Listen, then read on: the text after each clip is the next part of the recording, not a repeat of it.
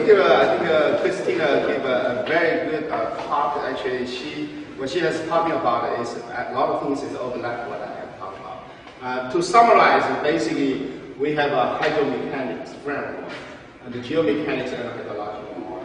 And these two things put together, that we will accomplish something that we feel that. So what is the objective? Again, the objective here is to understand how water infiltrates into slope, and subsequently, how landslide occur under seabed condition. So that's kind of our objective. In fact, this whole book that Jonathan Godt, my colleague, and I have uh, put together is, as I said, what we think are most concise, necessary, uh, other discipline relevant to what we try to accomplish in this objective. The framework actually, we feel, we feel that actually we can make a great advance. So the major ingredient is uh, what Christina has mentioned uh, the, part, the geomechanics part, which give us the background stress. And then there's the hydrological part. Uh, the hydrological part actually has a feedback effect because it's not only just the, the hill slope get wet and dry, but also there's a mechanical consequence in addition to the gravity due to the gravity geometric and topological effect of the, uh, of the uh, geomechanics force. So that's basically our framework of uh, trying to accomplish.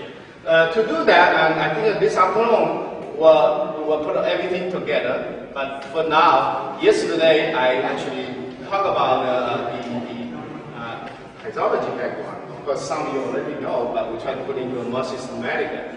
Uh, to understand conceptually, we divide into steady and transient, uh, just for understanding. In, in nature, almost always transient. And then we also, in fact, at the beginning of the first, I talk about the effective stress. I didn't have the opportunity this time to talk about total stress, but that's what the total stress is the background. Because what you see the, at the larger scale, time and the space scale, why you see a particular mountain has a particular slope, is because of the balance of total stress. Uh, so, but in additional to total stress, then we have the hydrological effect, which is the effective stress additional part, because effective stress is two parts, right? The total stress and the pore pressure in the saturated sense. But under unsaturated or partially saturated condition, the additional uh, the stress due to water is what I call suction stress, and that has to take into picture. So that's just the one ingredient in addition to classical geomechanics uh, that we bring the hydrological and the mechanical. The other ingredient I would say that this framework is the, uh, the what I call the local factor safety. I will talk about this afternoon how can move from one slope, one factor safety, to one slope that is a field of factor safety in words, very often you see the slope, in fact, they have a multiple weakness. Uh, some in the shallow, for example, very easy. People understand that even the erosion can cause. If you have a forest fire, just like what Christine talked about earlier, and then you have a, a, a sufficient uh, vegetation change, you have a sufficient hydrological change. Those can cause the weak in the very shallow, that will mean a decimeter uh, scale. But also you have a much little bit deeper, maybe couple meter scale, somewhere near the bedrock and the soil uh, interface. Maybe then you have another uh, larger scale on the water seepage much deeper, and you can have a deep sea landslide. So the, the method that we try to push is just beginning is the field of factor safety. In fact, that you can identify these multiple uh, failure surface, potential failure surface. So allow us to, uh, to move forward. So that's a major ingredient for my uh, for my actually uh, today's talk as well as the entire book. So if you uh, do not have a time, so that's pretty much it, the message I want to leave. But we can go a little bit. We have a plenty of time, so let's go a little more uh, detail about the, so some of the ingredients which we think is unique. So first we will talk about the strength. So the strength of the, uh, of the slope is a basically material property. So in other, as a modeler, particularly if you do a geomechanics and stability model. Uh, what do you need? A hydrological model. What do you need? Another, can you minimize through the parameter we use no more, no less? So that's kind of thinking. Of course, this is subjective, but we will provide you what we think are most important things. And then there's uh, the second part. I will talk about the uh, hydromechanical property, which is more related to hydrology property. But what we have done uniquely in our framework is to relate the hydrological property and the mechanical property other it's a couple. So my talk will, will divide a few parts. Uh, first about the uh, why material fail. So there's a failure mode, different failure mode. Some of them will be under shear, some of them under tensile, uh, some of them will be under combination of them. And then we will talk about the, the shear, what is what we talk about shear strength, where they come from. It come from the frictional resistance. And then the shear strength is due to cohesion. So cohesion is one of the concepts that has been widely used, not just in the geotechnical community, but almost all the uh, field that relate to the uh, landslide. But cohesion, I can tell you that has been wrongly named. The terminology cohesion itself was not correct. And I will show you why it is not correct. Because by correcting that the concept, that actually we can, uh, we can unify how to analyze the stability. Example is that people think about it you probably heard about. People say, oh, the root strength. Root stress is fine, but people sometimes call root cohesion. In other words, root will call, cause cohesion. And that kind of concept that we can talk about a little bit more, uh, why it was not mechanically sound.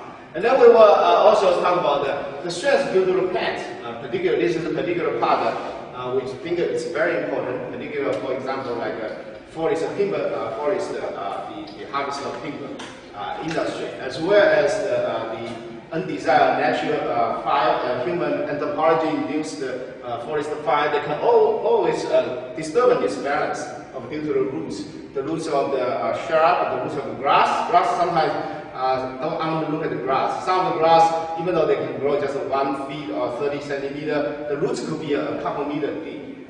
And some of the very tall tree, like 20, 30 meter tree, in fact, the roots could be only just. So the, all those are very important when we have the disturbance of that, whether it's by timber industry or it's by uh, uh, the uh, forest fire, they can always disturb that. So It's almost always sure when you have that kind of disturbance, uh, we're talking about that disturbance will change or alter uh, either the stress or strength in an order of uh, tenth of kPa. Now 10, 20, 30 kPa. And that's sufficient to almost, you can always guarantee you you have a forest uh, that has a 20 to 30 uh, kPa uh, disturbance of uh, stress, and you will have a landslide. And that's a part of my optimistic part about the prediction of landslide, now initiation of landslide. I think that we are, if we can combine all the uh, the state of art, the different discipline, uh, we are at about a stage where we have some confidence, you know, to assess when we have this kind of disturbance to nature. And then we will talk about the, uh, the shear strength under various drainage conditions. I won't go through this part a lot because this is basically the, uh, anybody study uh, soil mechanics, you should know that, uh, that under the different kind of drainage part is one of the important things uh, for the for the geotechnical design. But I will just very quickly go through that because of the time limit. You can go back to the my slides or book uh, to, to, to review that part. And then we talk about unified way. In other words, how we can treat the, the rules uh, the, the traditional uh, cohesion, all those concepts of frictional tensile into, into one framework, what we call the unified trade-off shear strength. Because we're only doing so, we can minimize the necessity to define a material property, and then those property could be measured. In some many cases, it could actually relate to the hydrological behavior. And I will draw the summary uh, of that. Um, so the, uh, I want to start with uh, what are the parameters in the framework, what, I, what we think the hydromechanic framework. So I'm summarizing actually only a few of them here. Uh, what are those? And if you look at that, uh, first uh, you will see, you will know that uh, this is the classical property that we will look at friction angle, cohesion, sometimes we call it internal friction angle, and cohesion of the material, which is the intersection of the, of the shear stress axis. And those are, those are new, those are all the classical ones we need to know. And then the hydraulic uh, property, very often people mention the saturated hydraulic property. That's very important. So that's uh, something that uh, already there. And then if you go through the variable saturated, now from saturated to unsaturated part, you need to expand a few parameters. And what are those? One is the, uh, the porosity. Actually, this part again is not something new. Most cases when you uh, try to classify soil or to classify uh, hill slope material, you want to know what is the porosity. But then there's another uh, three parameters actually attached to, specifically attached to partially saturated and unsaturated. One is what we call the residual moisture content. Uh, the residual moisture content concept in the soil retention has been quite well established, although still somewhat controversial. But it is something that you can quantify that by doing experiment. Uh, the other two, one is the, uh, the, the pore size distribution parameters. In other words, the phenomenon we are talking about, the full flow process, as well as the stress phenomenon, it has a lot to do with the, how the pore size is distributed. In other words, the large size, small size, intermediate size, and in, the, the, each part of the ingredients. And the other thing is about the, the air entry value. Uh, the air entry value basically it's a, it's a, it's a, it's a pressure at which that you soil start to experience from saturated to unsaturated. In fact, the more important to most of the landslide is the water entry level, which is the other end when you have soil starting from dry and then go to wet. At what point actually the soil could be become fully saturated because that's the point that you have a suddenly experience of the particle stress difference, uh, uh, decrease, and consequently you have a debris flow and landslide. So if you look at the, what, what entire book we talk about, uh, boil down to the most simple parameter necessary this is hydromechanics, entire framework. The, the three parameters for actually is for, for mechanical as well as for hydraulic. For example, if you want to know how the water distributed in terms of transient condition, how the uh, moisture distributed as well as the suction, you need to know these three parameters because those three parameters plus this one, as we talked about this yesterday, it defines your soil water characteristic and hydraulic function. And in addition, uh, yesterday I talked about unified effective stress. It also defines the interparticle stress. So that's a framework that we have been trying to build. Uh, quite simple. Uh, but you can also, for some of you probably know that some background on the uh, saturated soil mechanics. There are people who try to develop, uh, not looking at the stress, but looking at the strength. So if you're looking at the strength, they will develop a, a, a different kind of failure criteria. But essentially, boil down to those parameters that define Number one is there are a lot of parameters which is somewhat impaired. That's fine. But the second, those parameters will never be able to reconcile or interconnect with the hydrological property. So that's a kind of the major uh, differences between our framework and those uh, uh, lot of the popular framework. And these are actually, if you look at the numbers, those numbers give a pretty precise uh, uh, range, in other words, the bar. Of course, I use the typical sand, silt clay, but if you have something yesterday somebody asked you, if you have somewhere between a mixture of them, then you, you, you can categorize still within these boundaries.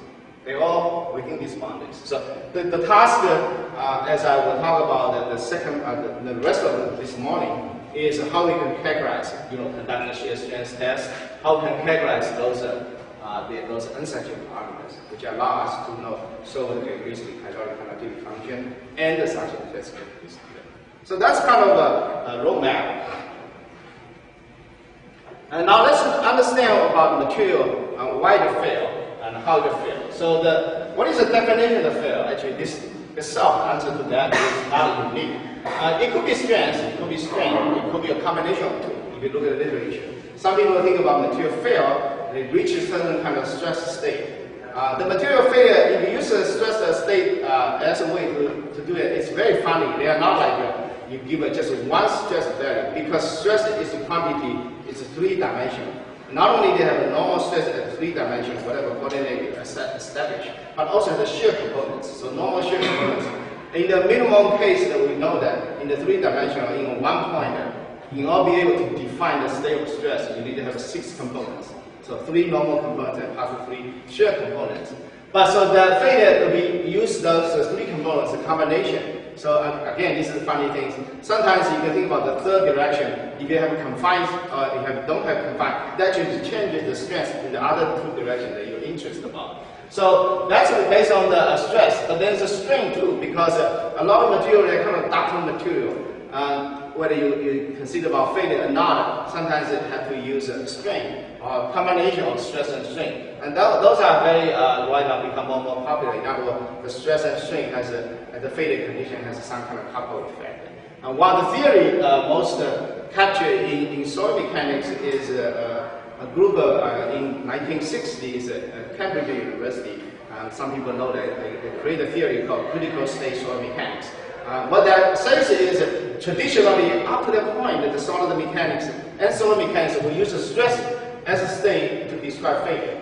But then you see that a lot of material, particularly uh, like a clay type of material, uh, whether it's a consolidated or overly consolidated, normally consolidated, their behavior has a lot to do. So the uh, Cambridge group created this uh, uh, the, the, the, space in addition to stress, but also to do with the strain. Sometimes you use a Avoided ratio. So that's kind of a, a background. Uh, so the classical concept is based on the strength, as I said. Uh, those are the uh, basically background. Now let's look a little bit more about the, uh, the, the, behavior that uh, how we look at it. Because in the world that we were talking about is we, we can think about that. I've been discussing with students, in particular several students in the last couple of days, and some of the researchers. Is in our world, what we think about is one of the important thing. Of course, it's one perspective to look at the, uh, you know, the uh, object. The ten artists, uh, you know, if you want to draw the same object, they have a ten different kind of vision, a million and a million vision. So our vision, in some ways, a lot of things can happen. You can have the temperature due to the host fire. You can have the, the, the precipitation. You can have the volcano. You can have the, uh, you name it, all different kind of reasons. But after all, a slope whether will stand there or whether will have a failure, it is a determining factor, it is the stress here. Uh, how the stress here compared to the strength. So that's basically our idea. And look at how they fail. And I draw here the, the couple of the, uh, the situation that can be unilateral tensile. So in other words, you can have a material just by pulling apart. When you do that, you will draw this kind of Mohr circle, start on dash that is not failing. But at some point, they no longer be able. So very often you will see the crack. Uh, so in the slope environment, very often you will see this kind of more uh, at the crust of the slope. And if you look at my book, I have a chapter about total stress, which I don't have the time to talk about. Depending on the slope geometry, depending on material property, some of the slope, for example, nearly vertical, they can always uh, uh, promote the tensile stress on the crust of the slope. So under the gravity, they're already under tensile. So if you have a little bit of water or something, they can start trigger that. So that's uh, one of the important to, to, the, to the failure of the, uh, and also a combination near the toe, sometimes you see the crack too. And that is due to the combination of shear and, and, and then there's one type. The other one you can do a unilateral compression. So just a, a sample, you can just you know, squeeze them in the one direction. And when you do that, at some point you will see a shear band. Uh, in other words, a very distinguished uh, the, the angle, which is 45 degrees past the half of the uh, friction angle. And that is what uh, this kind of state. So it's dashed line style as you increase and then go to that plate and then ultimately they reach some limit. So that is the uh, unilateral compression. And so that is the uh, unilateral compression and then the shear failure. And the reason we call shear is uh, what makes uh, this, uh, uh, this material reach the limit is this line. So this is what we call the failure envelope. And this failure envelope is by uh, very important, uh, the name we call shear is because you always have the maximum and minimum stress, no matter whether tensile or this. The maximum and minimum differences is caused if you do a rotation, you will find that you will be rotated to uh, a, a, a, shear, a shear stress maximum, which is somewhere here in that case. So that is just the failure mode. The shear mode is very often, uh, if you look at the slope, uh, if you look at the middle portion of the slope, or if you draw, uh, you know, your, your, your imagination of the failure surface, uh, majority part of the slope actually is shear. So that's why uh, very often we, we talk about the shear failure, shear resistance for slope. Because most of those parts stress both directions compressive. So now if you draw the Mohr circle, they will be like this. Both are compressive on the positive directions. But somewhere near the toe or near the crust, you can have this kind of stress. In other one side is the tensile, the other side is the compressive. The vertical typically is compressive because of the gravity, but horizontally depends on your confining condition. So, so this is a more uh, uh, generalized to uh, you know nonlinear. Now, what's funny about this uh, this this envelope or, or the limit of the stress state for a particular material is that they, they have a some limit, and this limit is not linear. But very often, if it's not linear, then problem becomes very complicated. And then we usually would say, okay, that maybe it's good for certain accuracy, but uh, uh, to capture the first idea, and typically we want to be simplified. And very typical, we do that by Mohr-Coulomb criteria.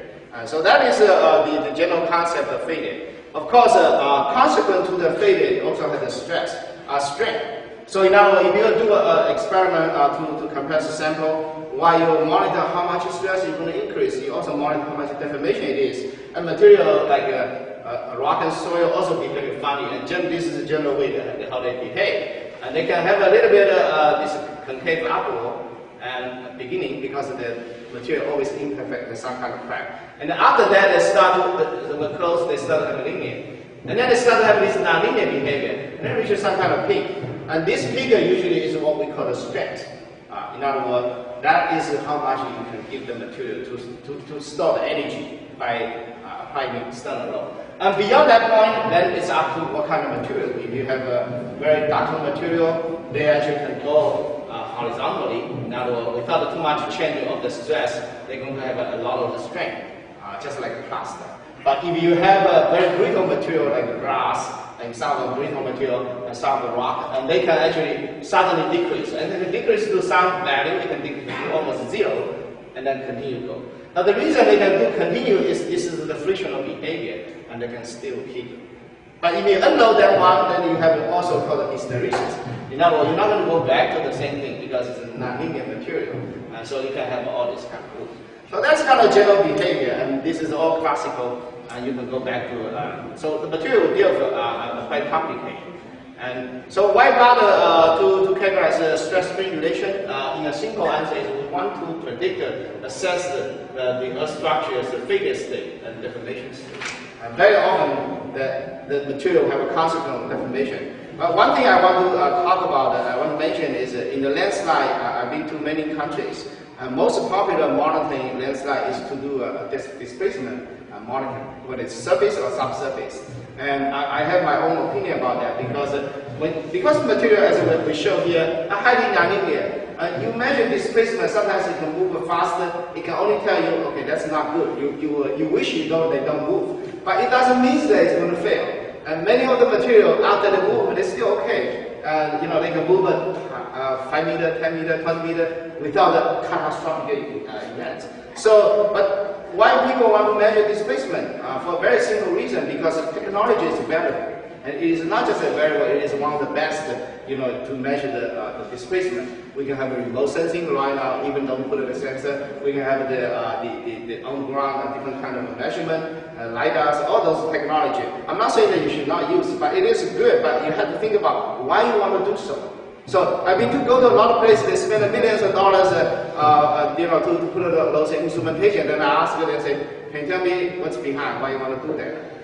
They can't answer that question. Know, sorry. but that's my criticism. But on the other hand, uh, I think that why you have a displacement, there's always a reason. The reason is stress. Of course, how to relate stress strain is somewhat complicated, but it is stress that causes displacement. And no, no object will have any deformation if we don't change the stress. So that's a uh, sure thing, right? That this is the stress that causes the material uh, to have displacement.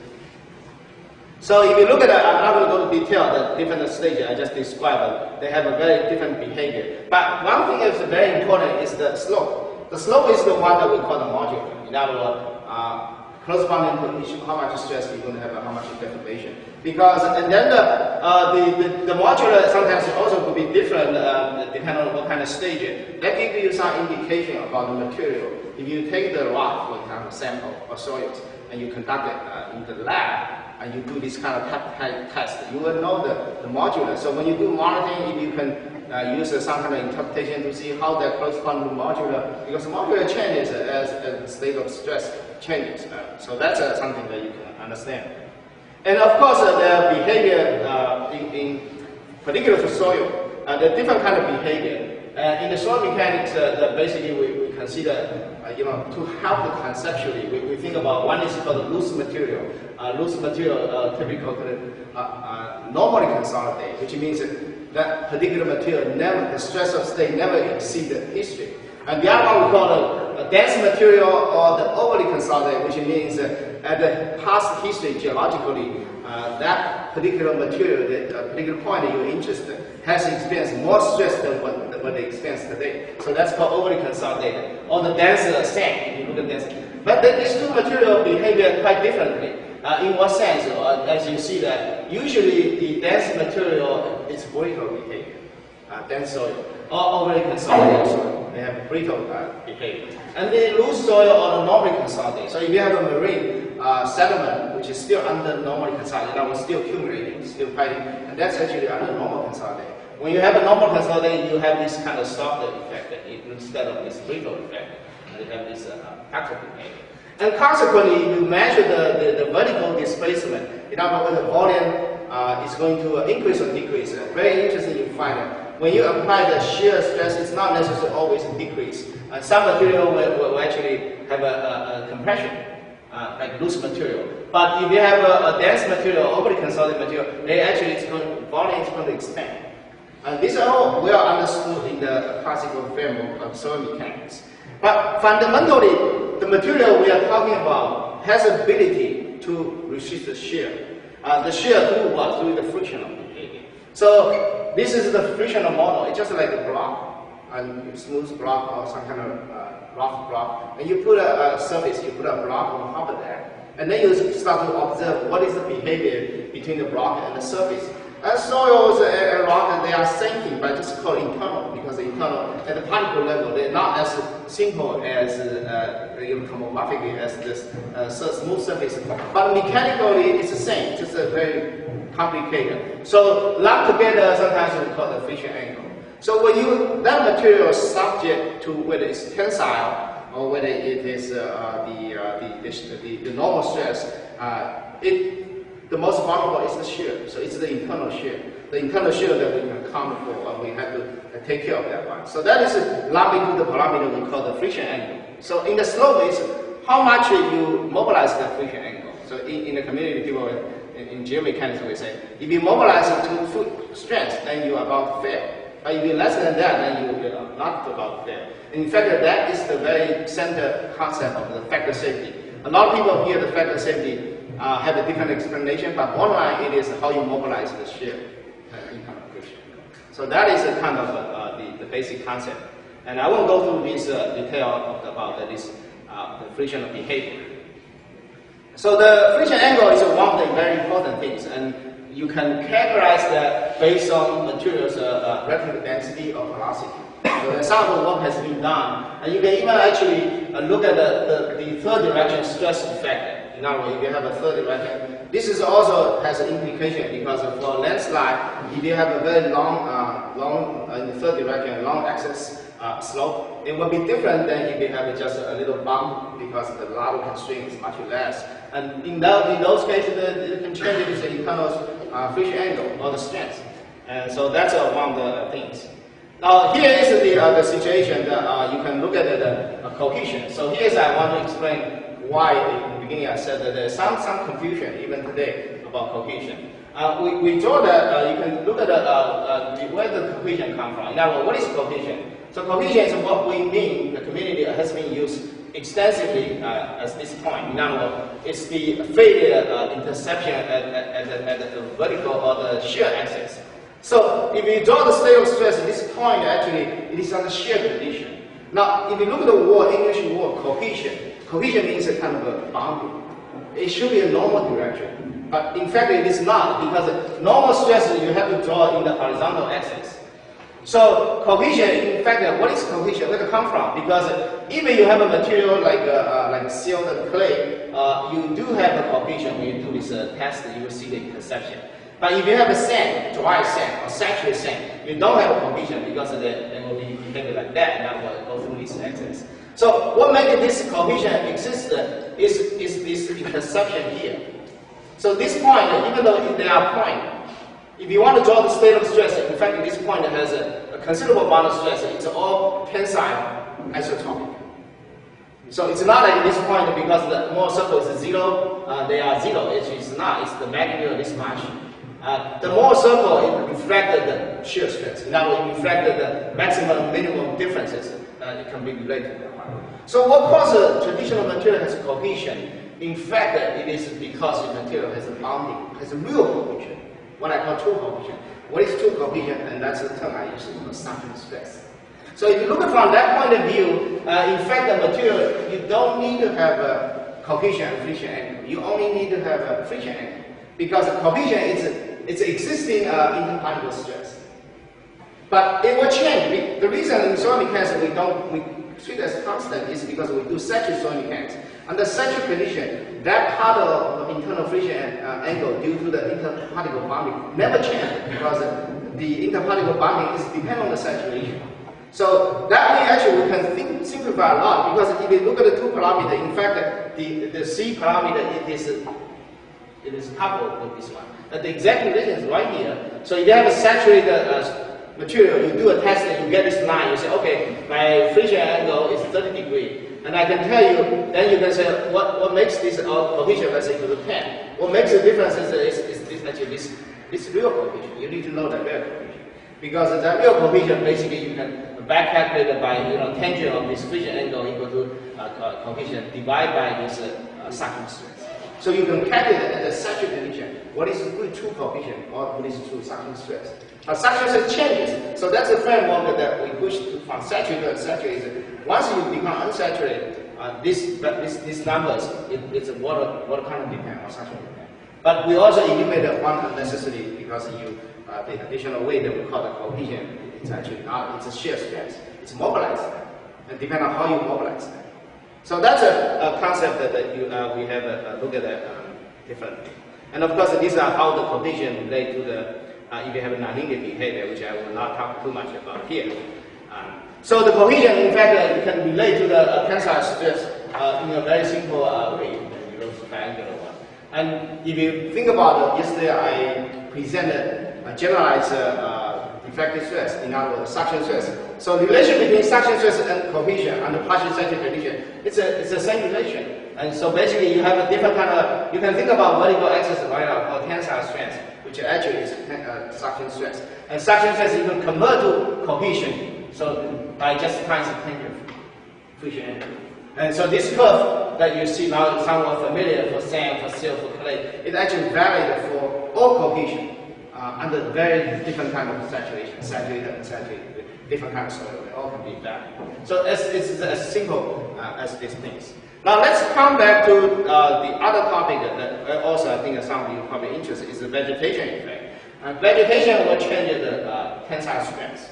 And in the literature, there are people who actually pursue the tensile strength of the different kind of tree uh, roots. For example, Kevin Schmidt of USGS you know, try to do the PhD dissertation and spend the time on the hill slope, uh, putting those, those roots, you know, measure how much tensile strength.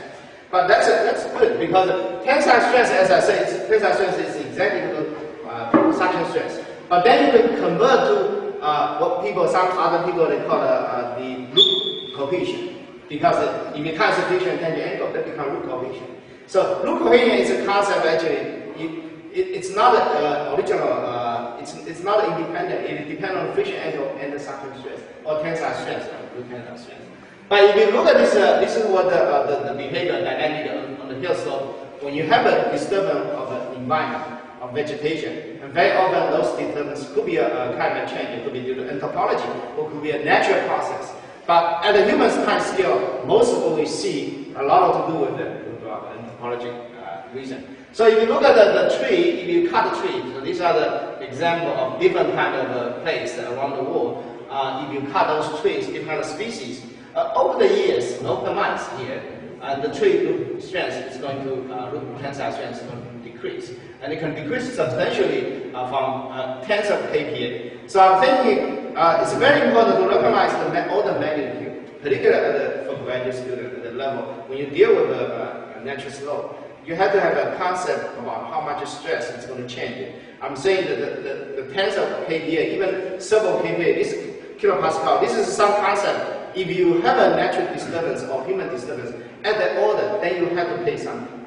So uh, just put it very simple, uh, you know, uh, uh one kPa is about uh, 10 centimeter of water. If you dip your finger to the bottom of that, and you feel one kPa is of stress. So that's how much the stress can be. But I can tell you uh, that 1 kPa, in fact, can cause a, a scale than stuff. And this has been shown in some part of the world. So those are the root uh, changes dynamically. Uh, typically, they can change the start, let's say this material about 50 kPa, and it can reduce to about 10 kPa. And some of them can completely lost the strength uh, over the year. Of course, how long it takes, it depends on location. You know, some places are much more moisture, so roots are very easy to decay. Some places a little bit more dry. But generally, you can see that the message is when you have the uh, disturbance of the nature, it's going to have a change of tens of thousands, uh, tens of kPa of stress uh, in the near surface environment. And that's uh, many of the showers that can occur. But on the other hand, if you are plant new trees, uh, this typical after many uh, forest uh, harvest, and you plant new trees, and they start gradually establish the roots uh, or the strength or tensile strength. And typically, uh, this is also increased in, such fashion. So if you want to combine and think about a time effect, what is disturbance of the nature uh, due to the vegetation, they actually experience this from original state to go down to, to reach minimum, and then it gradually increase. And typically, this is after 10 years.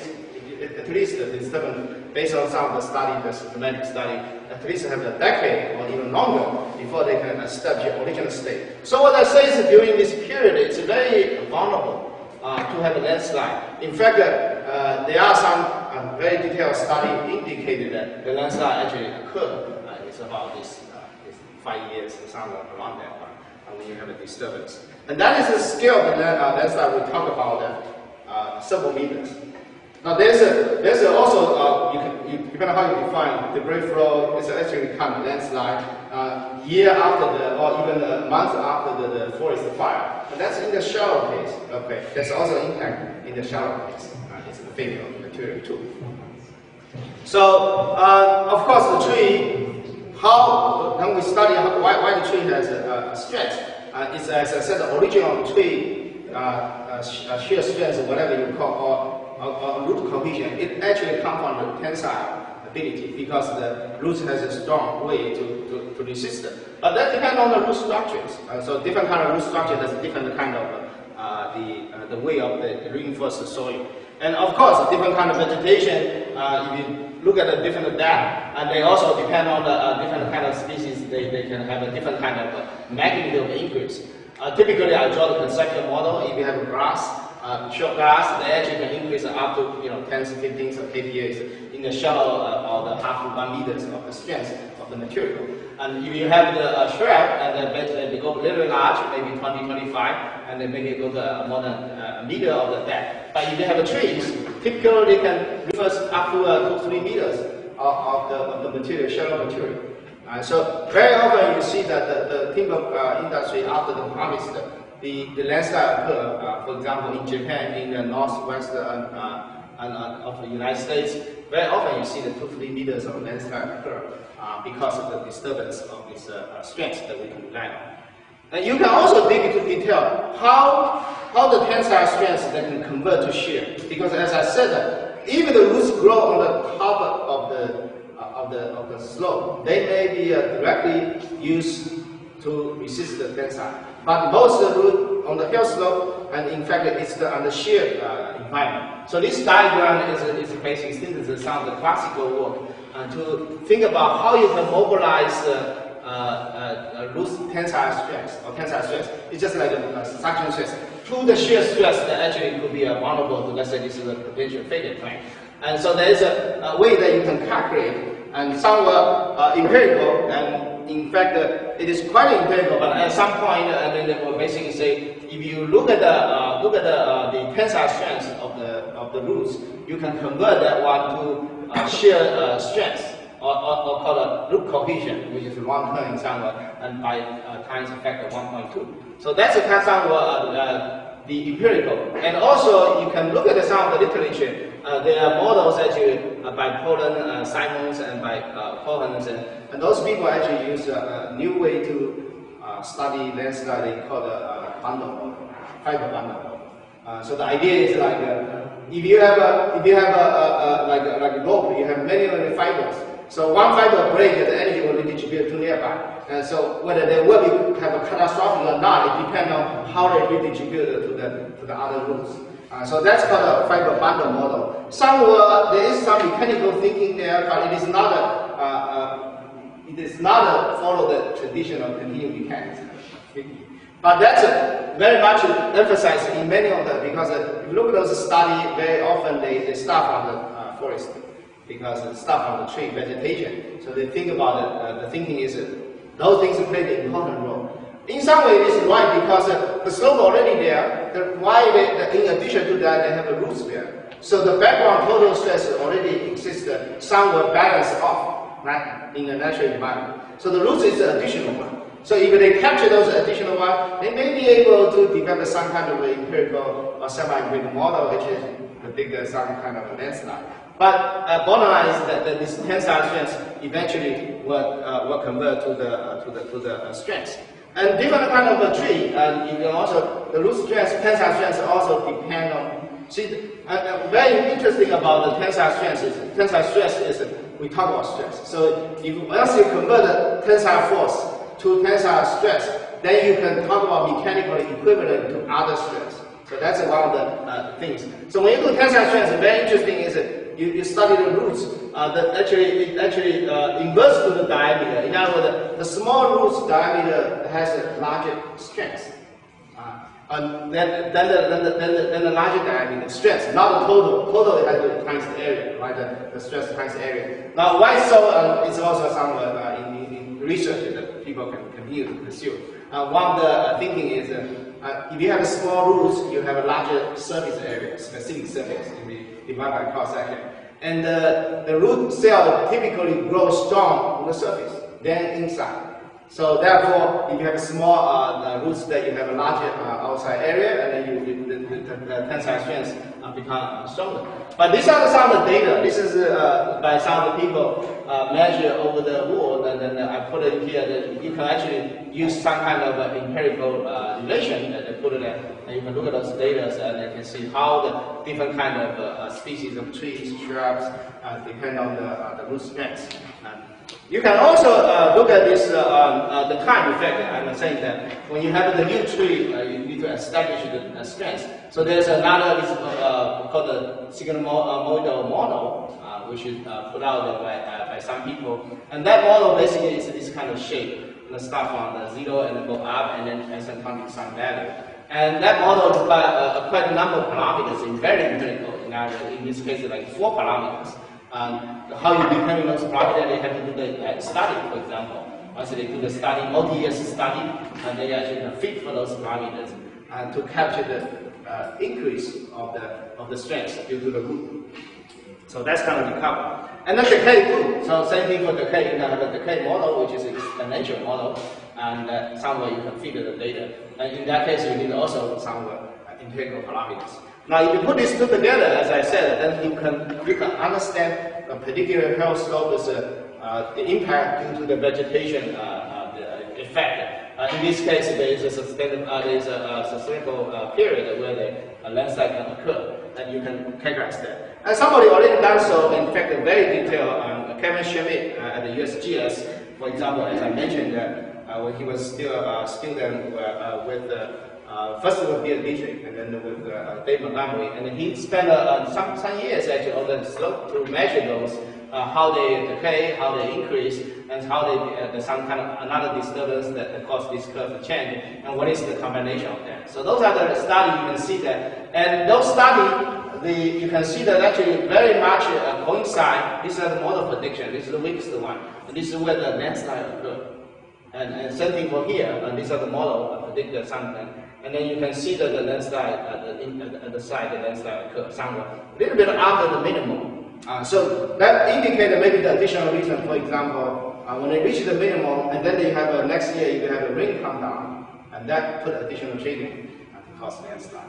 So, but, but, but I think this approach, uh, it seems like that for the root uh, uh, analysis, is, I think it's quite useful. Um, so it's for us, we can put it into the model, and it gives us a better uh, you can still improve uh, if you think it necessary, but in the context of the, recognize the, the, the tree roots uh, is tensile, and tensile that actually eventually can convert to shear strength. And the shear strength will decrease and then will increase. It will have some period where it's something most wonderful. Uh, so that's a part of like a, uh, tree root strength. And I also put it in my uh, handout. You can download from website after this is uh, some of the, uh, the, uh, the, the, classical uh, saturated soil mechanism, what they are chasing for. They're chasing for uh, cohesion, friction angle. So I put it as of the summary. I'm not going to go through that because basically uh, you, you, you grab any soil mechanics book, um, most typically in civil engineering undergraduate textbook, they talk about this. So essentially, the, uh, how people uh, to characterize the cohesion friction angle is that they will do a, either called direct shear, which is kind of like a, apply very little stress and then apply uh, fix as a constant, just like uh, you have a gravity, uh, and then fix a, and then increase the shear stress. When you do that, uh, you can fail material. And if you plot it into the uh, traditional uh, space of the shear stress and normal stress, you will draw a different Mohr circle. At some point, they're going to reach the at the maximum. But if you do the interval circle, for example, like these two circles, uh, we know that the Mohr criteria has only two parameters. It's a linear equation. Uh, it has two parameters, C and, and phi, and then you can actually uh, identify these two. And of course, there are also under different kind of drainage conditions. That's the differences between the soil mechanics and other this uh, solid mechanics we have to consider about water. So effectively, it's the one dominating one. So shell become very popular because uh, uh, you can do that under manipulating of the pore pressure. Uh, but typically, you, you, you do traction. In fact, it's not traction. Because if you look at this carefully, it's a cylindrical sample and you use a, a membrane, isolate that one. You apply vertical stress, which we call diminutory, or call the maximum stress. Uh, but then you, you apply all-around stress, which is horizontal, uh, in the horizontal direction. So in, in, in, strictly speaking, it's a bi, a biaxial test because the second stress and third stress are the same magnitude. But that's, a, that's very easy to manipulate because you can do a core sample. If you do a real, uh, real called truly triaxial, you have to do a cubic. So how you prepare a, a sample of cubic, that becomes very challenging. And how you apply the stress at the cubic also becomes challenging. It's durable, but at the moment, I think there is a lot of challenging because the size, you have to use some kind of rubber and then cause the corner effect. But most people study uh, just yeah, use this, uh, the triaxial cell that allow you to manipulate the pore pressure, which can mimic uh, the in-situ condition. So those are, uh, if you use that one, you can also get a, a traditional uh, type of, uh, of, of, of, the shear strength test. And as I said, I won't go too detail about this. Essentially, boil down to is to know the friction angle and the coefficient. So I want to use this, uh, then, then we can unify that. So I want to use this slide to show that how we unify that. And the way we unify that, as I said, if you look at the shear stress now, you look at the slope with the vegetation, consider about saturated, and unsaturated, and the failure criteria still be the same form, like the traditional shear stress is equal to cohesion, but the cohesion has many terms, uh, number of terms, and then and then plus the uh, and the trees. So this could be uh, due to the, uh, uh, the internal uh, shear locking, it could due to the, uh, the different kind of unsaturated effect due to the roots, and then, and then the total stress due to the gravity. So you can unify that one, because each of those, if you can utilize this one, each of these can be categorized. Uh, specifically, this is the saturated condition, and this is the tree roots you need to conduct the tree roots experiment. And this is the, what I call the saturated stress, depending on the saturation. It could be saturated, it could be unsaturated. So all those terms are there, and then you can use one very condensed. And this is this is basically uh, well, the, I already showed that um, each of those terms, in fact, you can spread it into uh, it's a mobilization of the tensile stress to through friction angle. That previously already showed each of them. Yeah. So, but although each of them, the tensile stress could be a different origin, for example, you have tree roots, it's because of tree tissue that increase the tensile strength. But they can mobilize that to shear strength in the scale slope environment. Same thing for the suction stress. Because of the unsaturated, because of capillarity, because of physical chemical force, they can lump into what I call suction stress. But that suction stress is uh, isotropic. In other words, it's, uh, it's normal to the, to the contact of particle. But that also can be mobilized to shear strength. So in, a sense that basically that's where each of the terms come from there. And so you can put this one and then I didn't write the intermediate step. Basically each of them can split into two terms. One is the friction angle, the other one is the uh, bonding stress, the real true bonding stress. So that's how we unify that. I don't know whether that explained that curiosity or I have to think.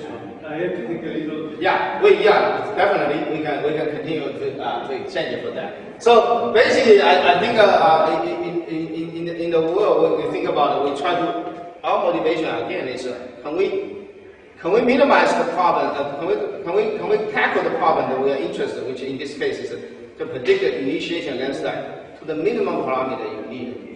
And also inherent to what people have done, hydrological and mechanical.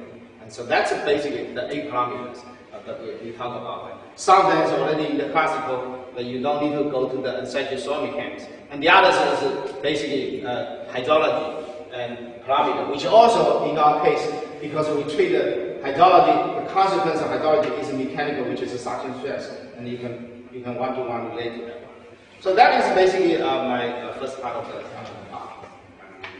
We can take a, a little break, uh, and then if you have any questions, we can discuss. Before I talk about the second. Thank you.